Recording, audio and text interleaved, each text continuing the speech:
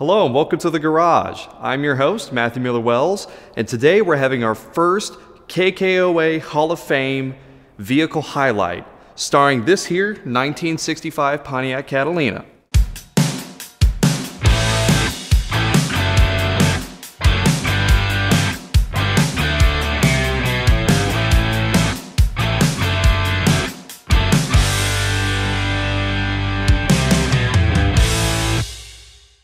This car was built by Dave Stuckey, a legendary customizer that used to operate on the south side of Wichita. Stuckey was perhaps best known for Lil Coffin, which was a 32 Ford two-door that uh, was revered both in the custom world and the model car world. A monogram model picked up the car back in the 60s, and it's a highly sought-after collectible. Stuckey is also known for never leaving a car well enough alone. He was always working on something, according to his closest friends. This vehicle, dubbed the Pharaoh, is a 1965 Pontiac Catalina that is about as radical as you can get with a vehicle from the 60s.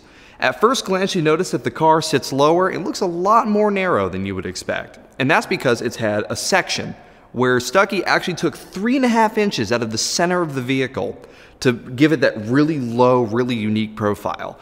Additional modifications include uh, fender flares, an extended front end piece, and a taillight panel swap out of a Pontiac Grand Prix. The craziest part is Dave Stuckey built this as a daily driver in 1969. The car would end up being sold to a gentleman in Delaware in 1971 and will return to Wichita through the current owner Larry Wolf in 2013.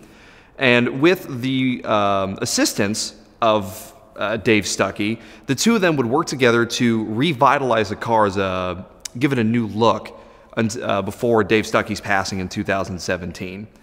Thank you very much for joining me today on this highlight of the Pharaoh. If you want to see this radical custom or many others like it, come stop by the garage before every July as this uh, exhibit rotates at every Lead Sled Spectacular. Until we see you next time, I'm Matt Miller Wells, signing off.